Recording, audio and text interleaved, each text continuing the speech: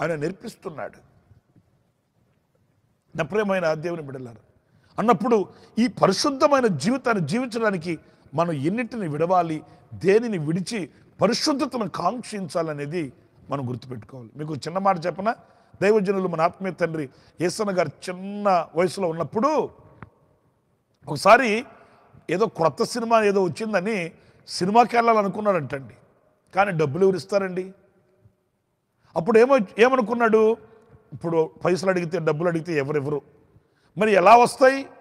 అంతలో ఒకటి జ్ఞాపకం వచ్చింది. వాళ్ళ అమ్మగారు ఈ చిల్లర పైసలన్నీ ముంతలు ఉంటాయి కదండి ముంతలు పాతకాలంలో. ఆ ముంతలో ఈ చిల్లర పైసలన్నీ వేసి ఆ పైన అటక మీద పెట్టేదట. ఇక ఏసన్న గారికి అది గుర్తొచ్చింది. మా అమ్మగారు మిగిలిన చిల్లర పైసలను ముంతలో వేసి ఆ అటక మీద పెట్టేది కదా. అంచేత ఆ చిల్లర పైసలు తీసుకుందామని ఇంట్లో ఎవ్వరు లేని సమయంలో ఒక స్టూల్ వేసుకొని స్టూల్ మీద ఎక్కి ఆ అంది అందని ఆ ముంతలో చేయబెట్టి చూస్తే చేతి నిండా చిల్లర దొరికిందంటండి. ఇక సంబరపడిపోడట. ఒకటేంటి? నాలుగు చూడొచ్చు. అట్లా అనుకొని చేతి నిండా చిల్లర పట్టుకొని విచిత్రమైన సంగతి ఏంటంటే చేయి తీయబోతే చెయ్యి రావట్లేదంటండి. చేయి రావట్లేదు. నాలుగైదు సార్లు ప్రయత్నం చేశాడు చెయ్యి రావట్లేదు. చిన్న వయసు కదా. అంతలో ఇంకా గావుమని కేక వేసేసాడు. అందరూ వచ్చేసారు. ఇప్పుడు చేతికి ముంత తగులుకొని ఉందండి. చెయ్యేమో ముంతలో ఉంది ఈ చేతికి ముంత తగులుకొని ఉంది. ఇక ఏం చేయాలి? వాళ్ళ అమ్మగారు వచ్చిందట పాపం తల్లి కదండి ఇంకా ఆ ఆవేదనలో ఆ యొక్క పరిస్థితుల్లో ఏంటి ఏంటి ఆలోచించే అంత ఉంటుందా అండి? ఇక ఆ చేయబట్టుకుని ఓ ఎంత గుంజినా రావట్లేదట. అంతలో ఆళ్ళు ఈళ్ళు వచ్చేసారు గోలగోల అయిపోయింది. ఎవరొచ్చినా ఎలాగ ఉపాయంగా చేయదీద్దామా అని ఆలోచించట్లేదు. వాళ్ళ ప్రయత్నాలలో చేపట్టు లాగుతున్నారు గుంజుతున్నారు గోలగోల అయిపోయింది. అంతలో ఆ దారిన గాజులేసే అతను గాజుల మేతను ఉంటాడు కదండి. ఆ గాజుల మేతం దారిని పోతూ పోతూ వచ్చి చూశాడంట.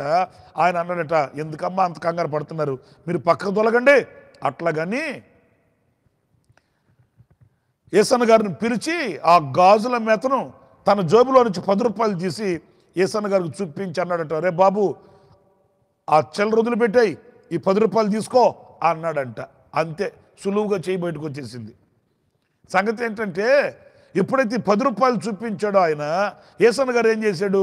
ఆ చిల్లర వదిలిపెట్టేశాడు చేయి సులువుగా బయటకు వచ్చేసింది. అర్థమవుతుందండి? వాళ్ళంతా గట్టిగా పట్టుకొని బాబు ఎలా వచ్చింది ఎలా వచ్చిందండి ఎలా వచ్చిందంటే పది రూపాయల మీద దృష్టి నిలబెట్టాడు కనుకయే ఆ చిల్లర వదిలిపెట్టాడు.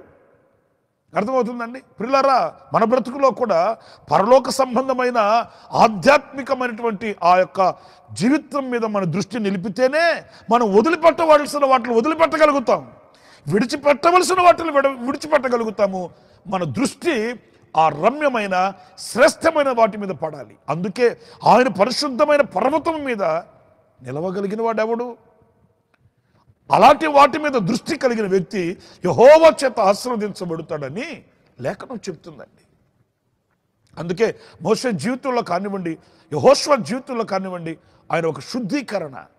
ఆ చెప్పులు విడిచిపెట్టి అక్కడ ఇది పరిశుద్ధమైన స్థలము. అంటే ఇది ఒక పరిశుద్ధమైన జీవితం. ఇది ఒక పరిశుద్ధమైనటువంటి అనుభవం ఇది. అంతేకాదండి మీరు ఈ కీర్తనల్లోనే చదువుకుంటూ వస్తే ఈ ఇరవై నాలుగో కీర్తనలో నాలుగో వాక్యం చక్కగా వ్రాయబడి ఉందండి. వ్యర్థమైన దాని ఎందు మనసు పెట్టకుయు కపటముగా ప్రమాణము చేయకుయు నిర్దోషమైన చేతులను శుద్ధమైన హృదయము కలిగిన వాడే. ప్రియుల దేవుని బిడ్డలారా ఆలోచించండి. ఎలాంటి ఆధిక్యతలు ఉన్నాయో చూడండి. ఉన్నతమైన చదువులు చదివినవాడు ఉన్నతమైన కులగోత్రాల్లో పుట్టి పెరిగినవాడు క్రైస్తవ లోకంలో ఆచారాలు బాగా చేసినవాడు అని రాయబడలేదండి. ఇవన్నీ చాలా పవిత్రతను సంతరించుకునే అనుభవాలు. వ్యర్థమైన వాటి ఎందు మనసు పెట్టకూడదట కపటముగా ప్రమాణం చేయకూడదట నిర్దోషమైన చేతులను శుద్ధమైన హృదయము కలిగియుండు వాడే వీటిలో మనం టిక్ పెట్టుకోవాలండి. ఎంతవరకు మనము ఈ ఆధిక్యతలు కలిగి ఉన్నామా అనేది. గనుక నా ప్రియ సహోదరులరా ఆ పరిశుద్ధమైన పర్వతము మీద నిలవగలిగిన ఆ శక్తి సామర్థ్యతను ప్రభు మనందరికీ అనుగ్రహించునుగాక.